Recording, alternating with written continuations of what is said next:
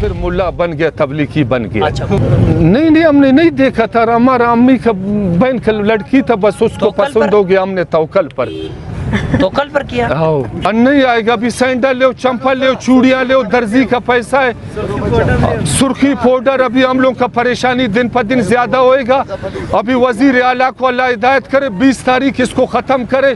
پھر ہم لوگ چوری تیز کرنا شروع کریں۔ اگر وزیر اعلیٰ یہ سسٹم نہیں کرتا تھا آئی تک ہم لوگ دو تین لاکھ کماتا تھا۔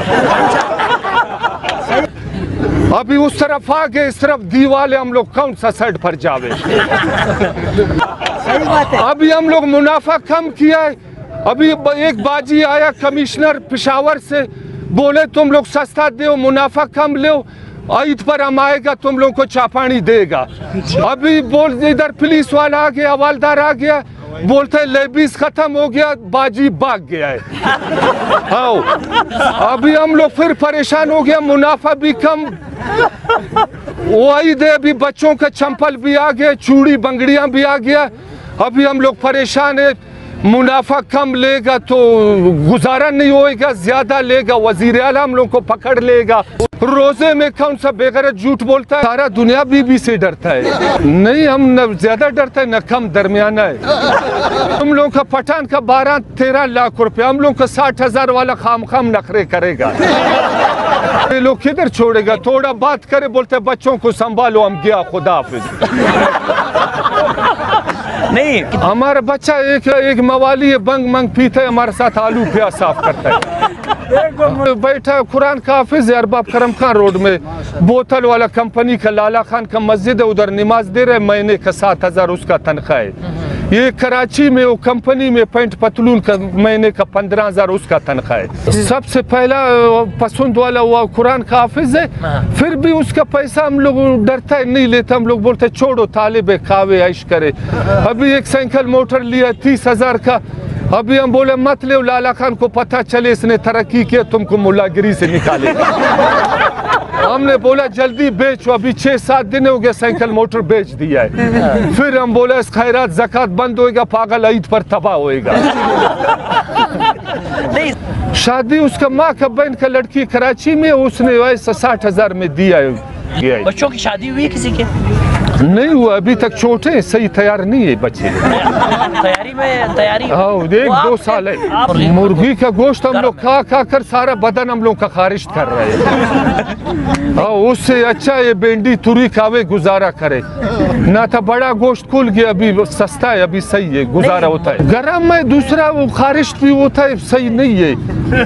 ابھی یہ لوگ کبا مبا کر کے کھاتا ہے ہم لوگوں کو پسند نہیں نہیں ہم بڑا گوشت کھاتا ہے بکری کا کلیجی کھاتا ہے بکری کا سر کھاتا ہے۔ یہ مرغی مرغی ہے ہم لوگوں نے بند کیے، سارا بدن خارج کرتا ہے۔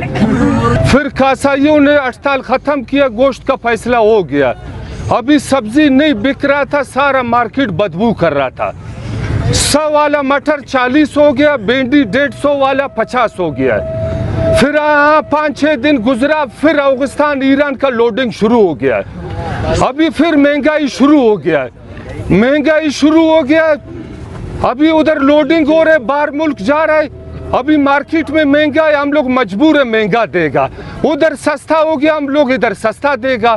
روزے میں بےمانی بند ہے۔ وزیر اعلیٰ ہم لوگ کا رشتہ دار ہے، اس کا خاطر ہم لوگ قربانی دے رہے ایسا روزے سے بغیر ہم لوگ دو ہزار، تین ہزار اڈائی ہزار کماتا ہے۔ ابھی وزیر اعلیٰ نے اتنے لاکھوں روپیہ، کروڑوں روپیہ خرچ کیا۔ فرش میں بجری ڈالا، شامیانہ لگایا۔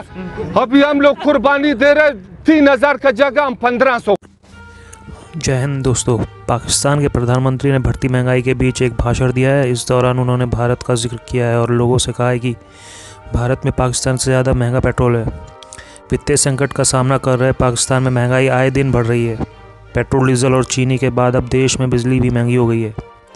پاکستان کی جنتا اب عمران خان اور اس کی سرکار سے تنگ آ چکی ہے۔ عمران خان نے لوگوں کا غصہ شانت کرنے کے لیے بھارت کا نام لیا اور کہا کہ بھارت میں پیٹرول دو سو پچاس روپے ہے۔ پاکستان ہر چیز کو بھارت سے کمپیئر کرنے لگ جاتا ہے۔ کرکٹ کے میدان میں پاکستانیوں کو بھارت کی جیت ہضم نہیں ہوتی ہے۔ تو کبھی اپنی سینا کی کمپیریزن بھارت سینا سے کرنے لگتے ہیں۔ پاکستانی جنتا کا دھیان بھٹکانا ہو تو بھارت کو بیچ میں لے آتے ہیں۔ اگر مگر اب پاکستان کی جنتا بھی مہنگائی سے تنگ آ چکی ہے۔ اور عمران خان سے سوال کیے جا رہے ہیں۔